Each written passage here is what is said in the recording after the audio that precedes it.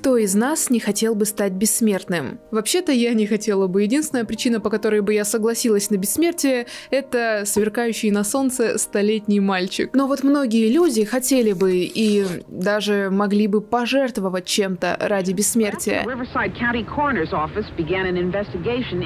И вот в итоге Энтони говорит, что если она будет следовать предложенной им программе, продолжать выполнять все указания, то он сделает Сарму и ее пса бессмертными. Сегодня именно об этом мы и поговорим. А еще о религиозных сектах, вербовках, бессмертных собаках, и это не шутка. Присаживайтесь поудобнее, заваривайте себе вкусного чая или кофе и давайте приступим. Любите ли вы романтические истории так же, как люблю их я? Кажется, я просмотрела уже все списки с фильмами а топ-10 лучших ромкомов и прочитала все книги про бэтбоя-красавчика, который, естественно, влюбится в отличницу. Но на днях мне приехала новинка, которая вас удивит. Книга в жанрах романтика и спортивная драма «Спасти шестого» от Хлои Уолш. Нам расскажут о Джоуи Линче, парне с тяжелой ситуацией в семье и с чрезмерной ответственностью для своего возраста, и об Ифе Мол, Молой, девушке, которая стала для него лучиком света. В книге поднимаются темы буллинга, жестокого обращения и преодоления травм. Но что мне нравится больше всего и что я особенно люблю в таких историях, это то, что первая любовь героев совпадает со временем взросления их личности. То есть они не только прямо в моменте формируют свои характеры, но и влияют друг на друга, как бы уравновешиваясь. А еще все это происходит в Ирландии нулевых. Не знаю, меня этот факт просто прикалывает. Бестселлеры из серии «Парни Томина» взорвали ТикТок с более чем 190 миллионами просмотров по тегу Binding 13. Я некоторые из них посмотрела, и так как книжку я еще не дочитала, хочу поинтересоваться, а почему после прочтения все рыдают? Короче, переходите по ссылке в описании и получайте скидку 25% по моему промокоду CROP25 в Читай-городе с 30 сентября по 14 октября. И читайте «Спасти шестого» вместе со мной мной. Ну а мы возвращаемся к теме. Перед началом истории я хочу погрузить вас в абсурдность происходящего. У вас есть домашние животные? Может быть кошка, собака или у ваших родственников, может быть у ваших друзей. А можете ли вы представить, что в какой-то момент придет какой-то рандомный дядька, скажет, что ваше домашнее животное теперь может стать бессмертным, и вы, кстати, тоже, и вы в это поверите. Что? Навряд ли. И вообще вы думаете, что во что-то подобное мог поверить только ребенок? Тогда я хочу вас познакомить с Сармой, нью-йоркской королевой веганской кухни и эталоном здорового образа жизни. В 2004 году Сарма со своим парнем Мэтью открыла в Нью-Йорке первый ресторан сыроедческой веганской кухни под названием Pure Food and Wine. Сарма, мягко говоря, очень неглупая девушка. Она использовала популярность индустрии здорового образа жизни, свои деловые навыки отточенные в Пенсильванском университете, и собственную привлекательную внешность, чтобы превратить манхэттенский Pure Food and Wine в модное место в стиле Секса в большом городе. Концепт сыроедения был почти что новаторским, так что ресторан быстро обрел верных поклонников. Туда ходили Энн Хэтуэй, Вуди Харрельсон, Стиви Уандер, Оуэн Уилсон и даже Билл Клинтон. Актер Алек Болдуин, тот самый, который снимался в первом Битлджусе и озвучивал босса молокососа встретил в этом ресторане свою жену. В конце концов, Сарма рассталась с Мэтью и продолжила развивать ресторан в одиночестве. Ее любили работники ресторана. Это Бонни, она с нами 6 лет, мы ее не отпускаем. Не выйдет. Я не ухожу. Это Джои. Он работает здесь почти 7 лет. 6. И Сарма была действительно искренней. Мы называли ее Сармама. У нее был лучший в мире пес Леон. Герой самых романтичных отношений в жизни Сармы. Она даже помогала бездомным людям и нашла среди них хорошего друга. Однажды она прошла мимо, и наши глаза встретились, и она улыбнулась. И я просто завязал с ней разговор. С этого момента Мы стали добрыми друзьями. Но ей все равно было страшно одиноко. В 2011 году она познакомилась в Твиттере с мужчиной по имени Шейн Фокс. Она заметила, что этот мужчина общается в Твиттере с Аликом Болдуином, тем самым актером, и сразу прониклась к нему доверием. Их отношения развивались медленно. Сначала они несколько месяцев играли в слова, просто болтали, а встретились они только в конце 2011 года. В реальности Шейн был чуть грубее и полнее, чем на фотографиях. Но Сарма подумала, что было бы несерьезно отвергнуть мужчину исключительно из-за его внешности. Тем более было в нем что-то от той самой каменной стены. Он казался в меру смешным, в меру серьезным и очень душевным. А мы помним, Сарма ужасно нуждалась в человеке, на которого можно было бы опереться. Осуждать его за это было легкомысленно. Хотя я мечтала о большом и сильном парне, который ворвется в мою жизнь, будет понимать меня. А он, казалось, понимал меня очень хорошо. Шейн так красиво за ней ухаживал. Он писал ей, что влюблен в нее уже тысячу лет, будто они знакомы с прошлой жизни. Он был богат и таинственен. Иногда Шейн пропадал, оставляя Сарму в догадках, и этим только подогревал ее интерес. Он создавал впечатление человека, который живет на широкую ногу и ничего не жалеет для любимой. Шейн водил Сарму в магазин Тифани выбирать кольца, смотрел с ней шикарные нью-йоркские таунхаусы и расписывал планы на совместное будущее. Он осыпал ее вниманием, заполняя ту самую пустоту, которая осталась после расставания с ее предыдущим парнем, Мэтью, с которым они как раз-таки рестораны открыли. Но, впрочем, никто из знакомых Сармы не понимал такие отношения. Позже даже приемная мама Шейна скажет, что она не понимает, что Сарма в нем нашла. А еще Шейн был очень подозрительным подозрительным. Однажды он позвонил в офис, где работали друзья и коллеги с Армой, и определитель номера показал его как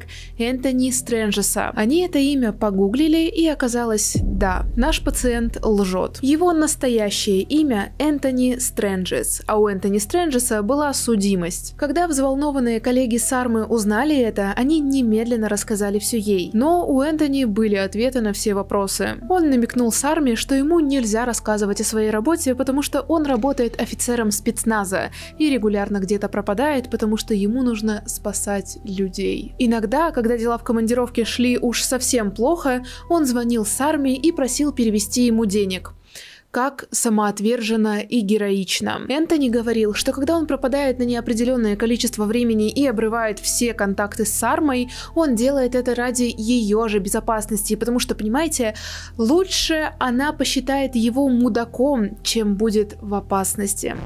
Шейн в Африке борется с повстанцами. Не говори ему, что знаешь, где он.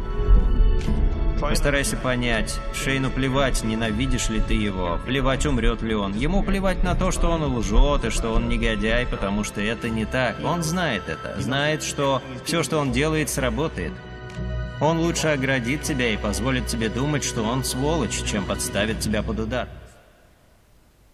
Какие красивые слова, девочки, какие красивые слова. И тем не менее, в ноябре 2012 года пара поженилась. Церемония была скромной, никто из друзей и родных Сармы о свадьбе не знал. После свадьбы Энтони объяснил Сарме, что теперь она его жена, а значит она теперь тоже находится под защитой правительства США.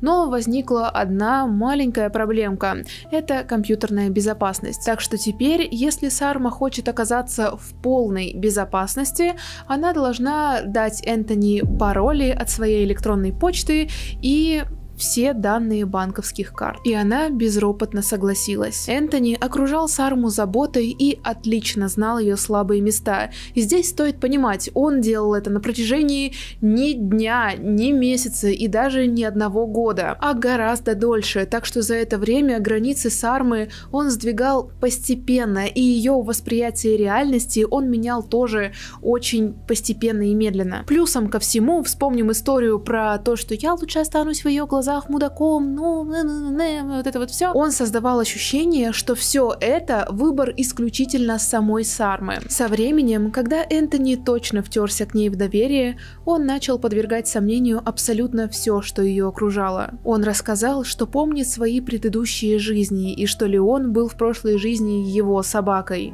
Энтони всегда категорично заявлял, что любит меня, и превращал это в нечто мифическое. Вроде как он прожил много жизней и везде искал меня, и я та самая, тот особенный человек в мире. Он выделял меня, как будто наконец нашел ту, которую искал. Сказал, что Сарма теперь достойна узнать о тайной организации под названием «Семья» и что члены этой организации давно побороли смерть. В его реальности тайная организация, похожая одновременно на мафиозную группировку и религиозный культ, может даровать бессмертие ей и ее псу, но сначала Сарме придется пройти несколько испытаний. Семья — это некая доминирующая группа судей, которые следят за каждым вашим шагом и решают, выполнили ли вы необходимые задачи, чтобы вы могли перейти в новое состояние бытия, где обретете сверхвозможности. Энтони убедил Сарму, что она получит огромное богатство, сможет выплатить долги за ресторан, и да, к этому моменту она уже успела накопить долги, и направит весь мир к светлому веганскому будущему. Все, что ей нужно было делать взамен, это беспрекословно подчиняться его приказам и переводить любые суммы денег в любое время, не задавая вопросов. К слову, вас ждет 7 лет везения и огромных денег, если вы подпишетесь на мой телеграм-канал. А если подпишетесь еще и на Бусти, то 20 лет огромных-огромных бабок, не работая. Внимание! Вдвоем смотреть ролики намного интереснее. Найдите пару в ВК-знакомствах. И тут возникает вполне очевидный вопрос. Как такая молодая, умная и успешная девушка, которая к тому же закончила один из ведущих университетов страны и открыла успешный ресторан, повелась на этот бред. Сарма часто говорит, что все время, проведенное с Энтони, она была словно в трансе. И вообще, этот опыт похож на то, что чувствуют люди, когда находятся в секте. Она с детства была отстраненным ребенком и считала себя отличающейся от сверстников. В момент знакомства с Энтони она была убита горем из-за расставания с бывшим и чувствовала себя загруженной ответственностью за ресторан. Это и сделало ее уязвимой к манипуляциям. Но ничего из этого не объясняет, почему она изначально была так восприимчива к историям Энтони, потому что тогда она еще не была настолько сильно к нему привязана, и он еще не был настолько серьезным авторитетом в ее глазах. Но почему-то она все равно ему верила. Возможно, это произошло из-за того, что в кругах веганов и сыроедов часто можно встретить людей, которые верят в мистицизм, хиромантию, силу кристаллов и таро, поэтому Сарма не ставила под сомнение некоторые эзотерические теории Энтони. Ну, разница, пожалуй, лишь в том, что попросить у подружки подружки раскладик на Таро – это не то же самое, что завербовать в секту. Важный аспект манипуляции – это изоляция жертвы от ее близких. Энтони убедил Сарму, что она может достичь бессмертия через испытание. Такое своим друзьям и родственникам она объяснить не могла и понемногу отстранялась от них. Тем временем бизнес продолжал развиваться, и она открыла еще одно кафе под названием One Lucky Duck. Но Энтони все больше вмешивался в ее работу. Он отдавал приказы персоналу и принимал бизнес-решения, не спросив ее. Она переводила Энтони огромные суммы денег, и в итоге получилось около 1,7 миллиона долларов. Я напишу на экране, сколько это было на тот момент по тому курсу. Когда Энтони начал набирать вес, он объяснил Сарме, что это, как он выражался, его новый мясной костюм. И, конечно, он был еще одним испытанием ее преданности. Мол, вселенная проверяла ее, заставляя ее испытывать к нему отвращение, но продолжать подчиняться его приказам и заниматься с ним сексом. И вот пришло время для финального шага любого манипулятора. Нужно было заставить жертву перешагнуть через свои ценности и мораль. Для Сармы таким поступком, видимо, стал эпизод с бутылкой вина, о котором она даже не может спокойно рассказывать. Он попросил меня принести бутылку вина, которая предназначалась мне. В общем, он приказал мне встать на колени и затем, ну, вы понимаете. И я даже плакала. А потом он извинился, говорил, что никогда не сделает этого снова. Сарма, прошу тебя, нам надо спуститься и напоить тебя кофе. Тем временем Энтони продолжал захватывать ее бизнес – Однажды он отправил ее в долгую поездку в Рим. С армией он сказал, что это очередное испытание, но на самом деле он использовал эту отмазку, чтобы взять контроль над ее рестораном. И вы уже догадались, что никакой Энтони не офицер спецназа. Энтони Стрэнджес провел детство в Броктоне, штат Массачусетс. Его родители разошлись где-то в 84 году, и Стрэнджес жил с отцом в трейлерном парке. Там он познакомился с девушкой по имени Стейси, женился на ней и завел с ней ребенка. Стейси первая испытала на себе манипуляции Энтони. Когда она забеременела, он взял ее драгоценности и электронику и заложил. Когда у нее родился ребенок, Энтони тонко намекал, что от него можно избавиться, а в итоге ушел. Бросил семью без денег и твердой почвы под ногами. У Энтони была зависимость от азартных игр. Он буквально не мог отойти от игровых автоматов. Большую часть денег, которые переводила ему Сарма, он тратил на игры. В итоге, под влиянием Энтони, ресторану пришел конец. Сарма переводила ему деньги, которые должны были пойти на зарплату работников. Сначала она врала, что у нее просто проблемы с банковскими переводами, и скоро она во всем разберется, но в итоге у всех кончилось терпение и работа работники уволились, а ресторан закрылся. Сарма была в отчаянии. Она искала инвесторов, которые могли бы помочь ей возобновить работу ресторана, и благодаря ее годами наработанному авторитету у нее получилось найти и инвесторов, и деньги. И тут мне очень хотелось бы сказать, что она разобралась с долгами, снова открыла ресторан, поняла, что этот Энтони просто мудак, который ей манипулировал, и жила припеваючи со своим псом Леоном. И да, отчасти это правда было так. Сарма как будто ненадолго ненадолго обрела контроль над собой. Она дала отпор Энтони, поменяла пароли на своей почте и даже уличила его в том, что коллеги Энтони, которым якобы можно было доверять, это просто его фейковые аккаунты. Но противостоять манипуляциям не так просто, и когда состояние женщины ухудшилось, она снова вернулась к Энтони. В итоге она опять начала переводить ему деньги, которые должны были уйти на работу ресторана. Работники опять взбунтовались, провели перед рестораном демонстрацию и уволились во второй раз. Чего мы хотим? Наши зарплаты! Когда? Сейчас! А в 2015 году Энтони и Сарма сбежали. Новоиспеченные Бонни и Клайд колесили по стране, скрываясь от полиции, ведь к тому времени их разыскивали по обвинениям в мошенничестве и нарушении трудового законодательства. И, естественно, Энтони тратил кучу денег в казино Лас-Вегаса, а Сарма страдала. Она как будто окончательно теряла рассудок. Энтони не давал ей общаться с друзьями и семьей. Женщина просто оказалась в заложниках. Сарма, ты должна встать и сходить в банк. Ладно, хотя бы встань.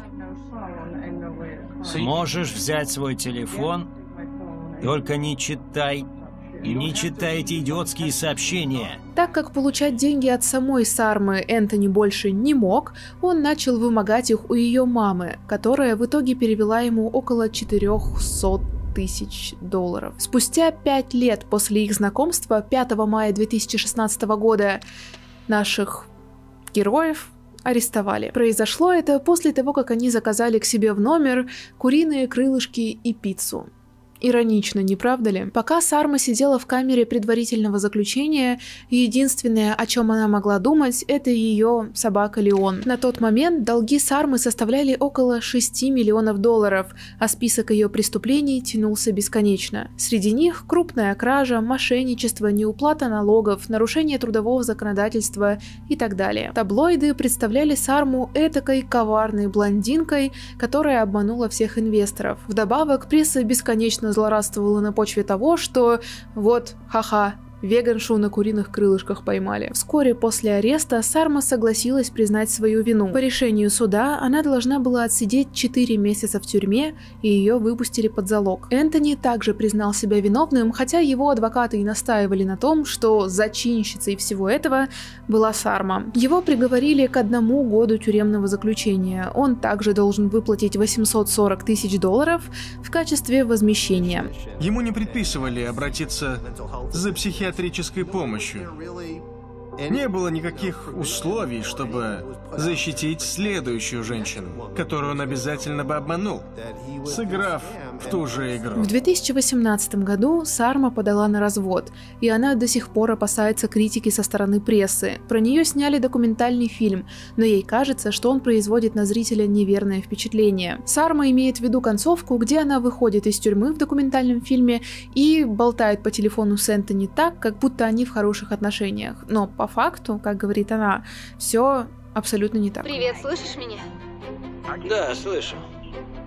На той неделе я почти уже написал тебе сообщение. Представь, я скучаю. Ты понимаешь, что тебе придется снять мясной костюм и появиться на единороге? Да, я уже это обдумываю. Станешь оборотнем у меня на глазах? Ну, я Женщина до сих пор иногда посещает свой старый ресторан и представляет, что однажды она снова станет ее владелицей, а у ее собаки появился аккаунт в запрещенной социальной сети. Общественность до сих пор сомневается, была ли она настоящей мошенницей или именно она стала главной жертвой всей этой ситуации. Но я думаю, что мы все это узнаем только если Леон действительно всех нас переживет. Ну и в заключении хотелось бы сказать, что люди готовы многое отдать за бессмертие, деньги, здоровье, время, счастье. И тем не менее, мне кажется, что потому-то наше время и ценно, что оно конечно, господи. Это должна была быть милая концовка, а не из мы все умрем. Ставьте лайк под этим видео. На самом деле я имею в виду, что очень важно научиться ценить момент в своей жизни и научиться жить настоящим, а не пытаться продлить будущее. Вот, как обычно, сентиментально. Да, каюсь. Есть такой грешок, ну а что поделать? Только подписаться на канал остается и поставить лайк под этим роликом. Но ну, а у меня на сегодня все. Всем большое спасибо за просмотр. Отдельно благодарю людей, которые подписаны на мой бусти. Их именно сейчас на экране. Ну а я с вами прощаюсь. Всем пока!